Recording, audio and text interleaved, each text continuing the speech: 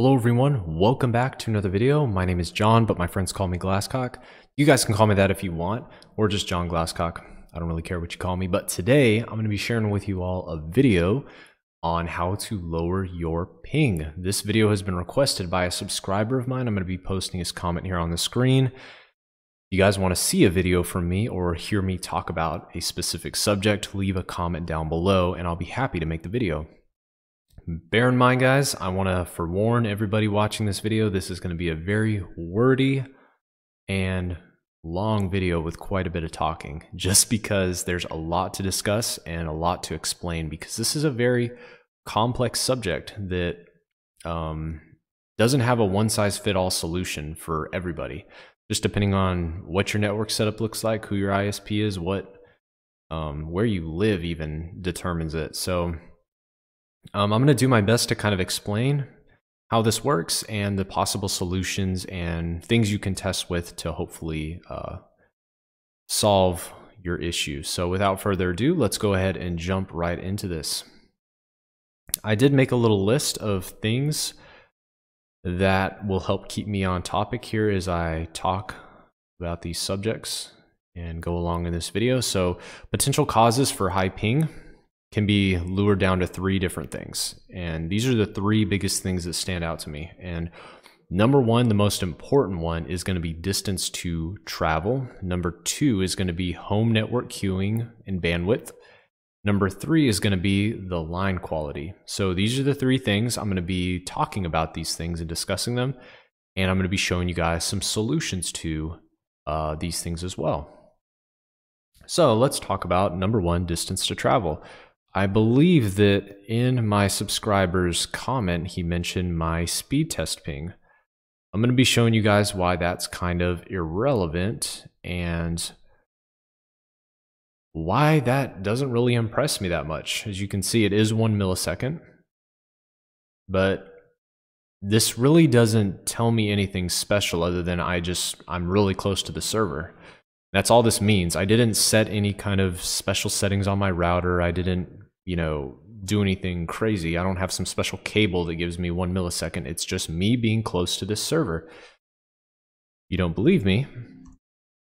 Take a look at Comcast. Let's change the server. Comcast. See what it gives me, 14. Let's switch it up again. Let's try SoftLayer, they got a building in downtown Houston. It should be maybe around two or three. Two, okay. So as you can see, just depending on how close you are to the server, it's going to determine what your ping time is.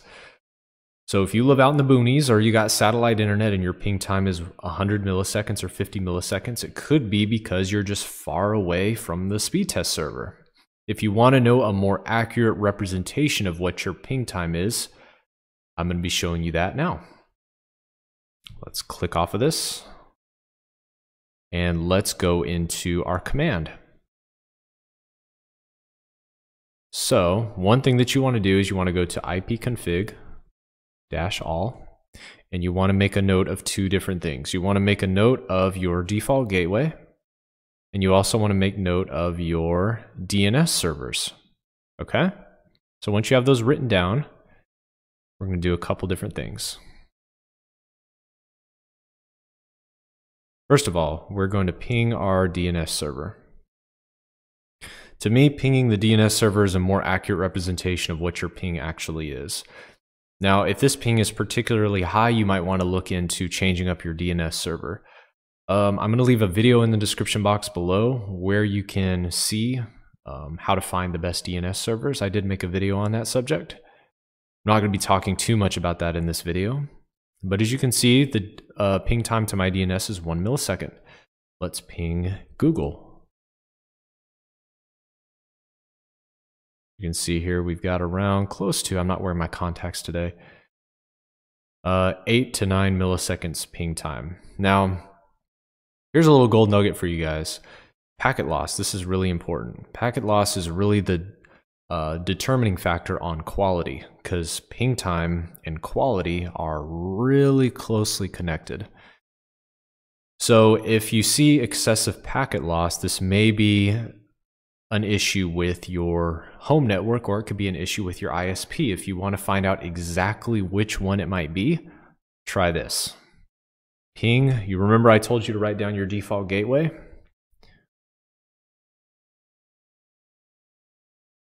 Ping your default gateway. And what you're going to see is the time should be around one millisecond. And if you experience zero packet loss, that's a good thing. What that means is that your um, equipment is operating as normal and there's no issues.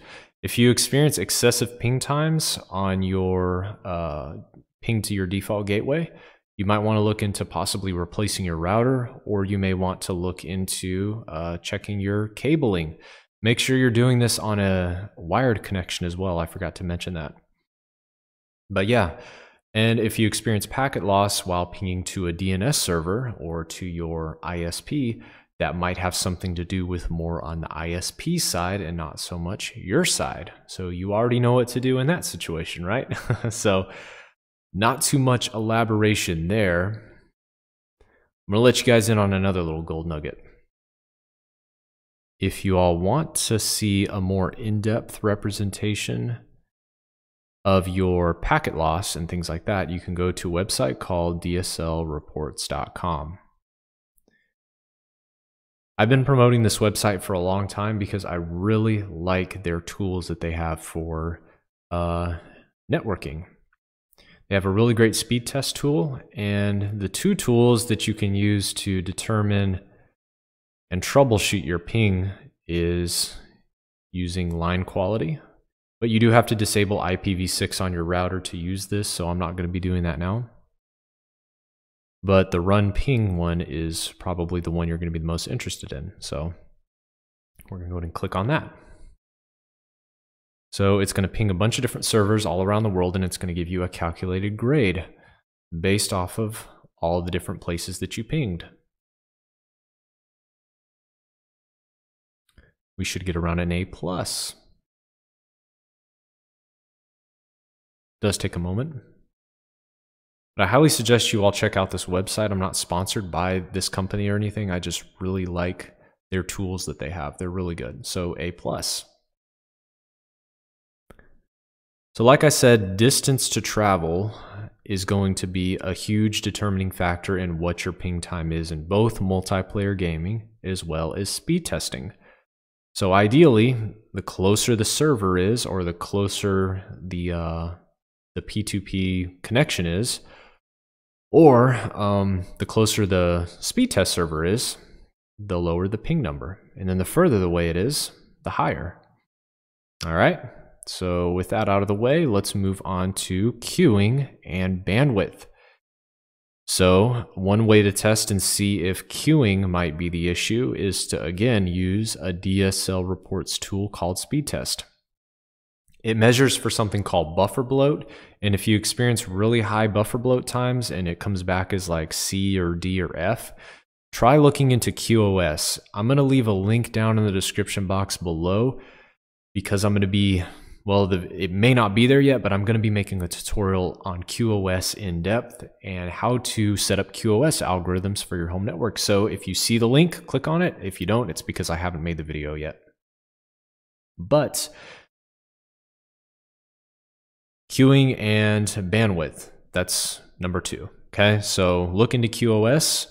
If you want to, you can Google your router like Netgear R7000 or Asus AC1900 or whatever router you have and type in QoS and you can learn how to set up QoS rules for your network and see if it improves. Once you've done that, run another DSL report speed test and see if it improves. Number three is going to be line quality. If you want to test for line quality again, link in the description, there's a tool for that, line quality. And you can see if that might be the determining factor.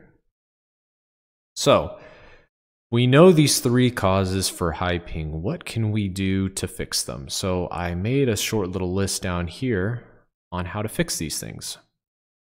Number one, to fix the distance to travel issue, there's two different things you can do. You can buy a NetDuma router. Their software on their NetDuma router allows you to essentially keep servers that are too far away from you or keep players out of your multiplayer lobbies from connecting to you. What this means is that your ping time is going to be a lot lower. If you don't want to buy a NetDuma router, you can look into flashing your uh, your own router with a software, or excuse me, a firmware like an OpenWRT, a DDWRT, or Tomato USB, and set up um, firewall rules firewall rules, yes, to uh, block out certain IP ranges or certain servers that you don't want to be connecting to. You can do that. That's the more techie way to do it, but NetDuma is going to be the more consumer friendly way of uh, handling things. Number two is going to deal with home network and queuing and bandwidth. That's going to be QoS. You can set up QoS algorithms on your home network, or you can call your internet service provider and try to request more bandwidth. If you've got people in your home that are using a lot of Netflix, Hulu while you're gaming, that can definitely cause high ping times. Okay. Number three is going to have to do with line quality, and that's going to be to call your internet service provider. If you find that when you run, let's say, a line quality test or a ping test, and you're coming back with bad results, then I would definitely contact my ISP and let them know that that's a thing. Uh, because there's not a whole lot that you can do on that end. That's something that they would have to take care of. They could probably send a technician out to your host to look house to look at the wiring and maybe even look at the nodes that are connecting your home network to the actual service center and they would be able to diagnose and offer further assistance there but there's not a whole lot that you can do on your end so those are going to be the three causes and the three solutions to lowering your ping. If you guys have any questions, definitely comment down below. All the links to the testing uh, tools that I talked about in this video will be linked down in the description box below. And like I said, guys, another thing, if you think that you're going to go on YouTube and find some magical router or magical Ethernet cable that's going to fix all your problems, you are sadly mistaken. This is a much more complex issue than you think. And uh, if you have any questions, please, guys, comment down below. I'm really happy to answer anything for you all. But I'm getting kind of tired here. It's 2 a.m. and I got to get up for work tomorrow. So um, thank you all so much for all the support on the channel. We're almost to 10K. Subscribe if you're new to the channel, and please rate the video and let me know what you all think and give me some constructive feedback. Thanks. Have a great day.